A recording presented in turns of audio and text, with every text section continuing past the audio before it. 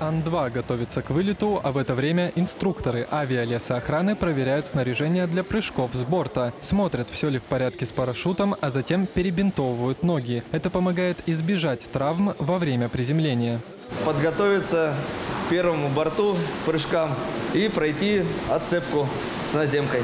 Наземка – это проверка каждого парашютиста, умеет ли он группироваться во время приземления. Пожарные прыгают с небольшой ступеньки и делают кувырок. Сперва это может показаться странным, но именно эти движения имитируют удар о землю. После того, как все прошли наземную подготовку, лесной спецназ надевает экипировку и садится на борт Ан-2.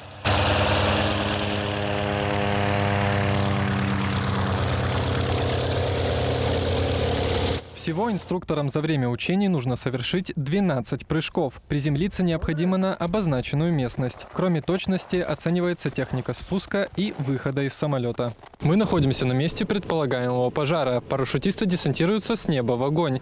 Участникам тренировок нужно приземлиться в четко указанный квадрат с высоты в 1000 метров. Помимо самого парашюта весом 18 килограммов, за спиной у специалиста еще целый ряд экипировки для борьбы с огнем. Самое главное это у нас еда, чтобы можно было, так сказать, восстановить силы. Это инструменты пожаротушения, лопата, ранцевые лесные огнетушители, мотопомпы, воздуходувки. Как бы, ну, это основное у нас лопата. Это наш лучший друг и товарищ. В тренировках участвуют пожарные из Московской, Омской, Амурской и Иркутской областей, а также специалисты из Забайкальского края и республик Марий-Эл, Якутия, Бурятия и Хакасия. За плечами многих уже больше сотни, а то и тысячи прыжков. Старший инструктор Вячеслав Поляков делится. В его карьере пожаров было так много, что их ужас не откладывается в памяти. Скажите, самый страшный, самый масштабный пожар, который тушили? Да все они не хороши, если честно. А какой больше всего запомнился? Ни один. Помнится все так мельком, знаете. Один в своем плане, другой в другом.